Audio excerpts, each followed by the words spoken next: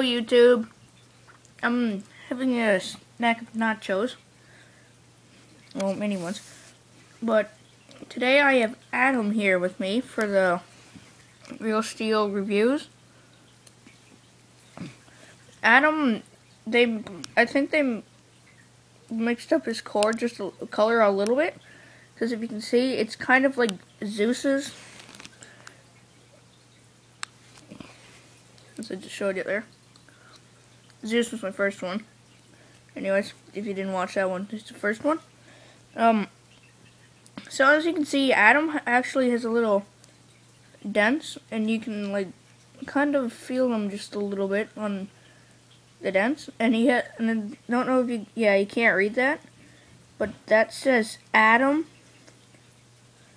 with the like, it's oh, it's kind of hard for me to explain.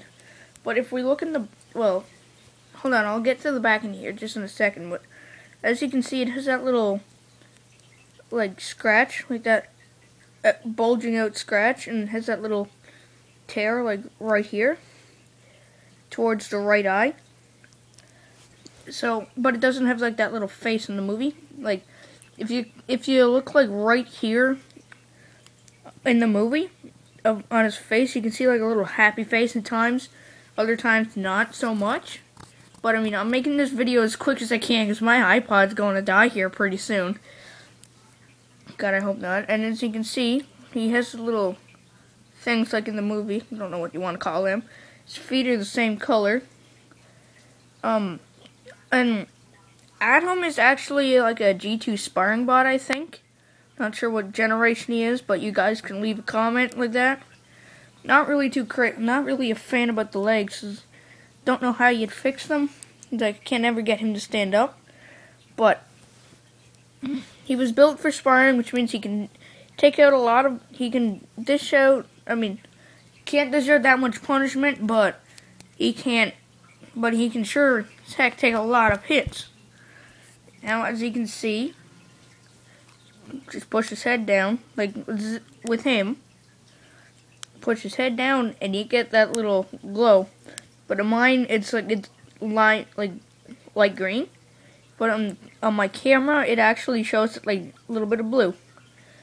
So uh, we here have the back of his head. Looks kind of just thin compared to his body. It's kind of big like that.